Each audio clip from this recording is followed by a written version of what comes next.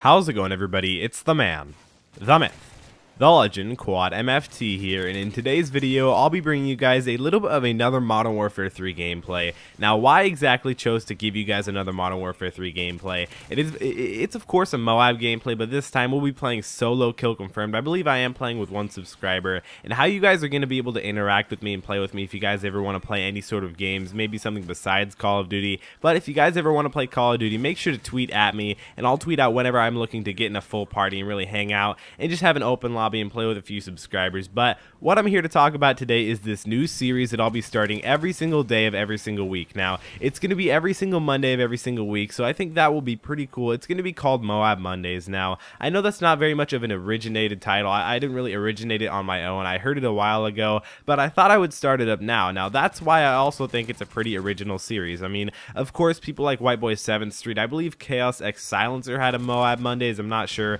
I could be getting a few names mix, mixed around pretty easily. But now that we're in the main Call of Duty right now, and the main Call of Duty right now is Black Ops 2, I'm sure you guys know that. And if you don't, you guys probably live under some side of huge rock. But I really just wanted to tell you guys that I still think Modern Warfare 3 is fun. Now, I'm going to be bringing you guys a Moab gameplay every single Monday of every single week. So hopefully you guys can tell me down in the comment section below what type of guns would you guys like to see Moabs with. I mean, I might bring you guys a secret double Moab Monday or something like that, triple Moab Monday or whatever.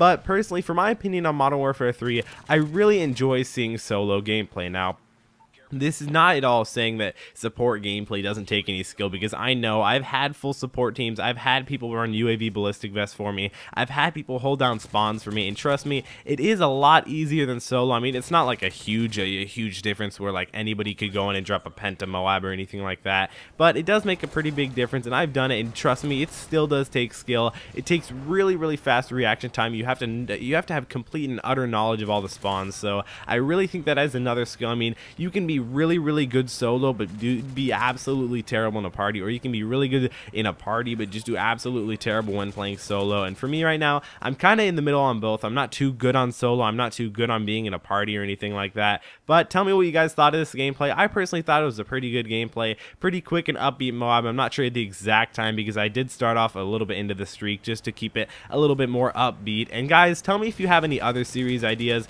Tell me if you guys would like to see certain mobs, maybe with a USAS or a PP9 90 or a SPAS 12. Also, I really am curious about Modern Warfare 3 because as you guys probably know, and why else would I start up this series called Moab Mondays for Modern Warfare 3, I really want to know what is your favorite Call of Duty of all time. Now, I probably asked this before, but I really want to know. Like, I, am drop dead. I'm about to kill someone if you guys don't tell me. No, I'm not trying to actually kill anyone. That's just really awkward and really weird. But, so I do hope you guys enjoyed this video. Remember to give me a big thumbs up rating down below. Those always really help me out. If we could try and hit 155 likes on this video for episode 1 of Moab Mondays. That'd be really cool. Make sure to subscribe to my YouTube channel if you guys haven't already. I do upload every single day, sometimes even multiple times a day. Make sure to go ahead and also follow me on Twitter, Instagram, and go ahead and also like my Facebook page. All of those links will be in the description below. It's been QuadMFT, and I'll see you next time.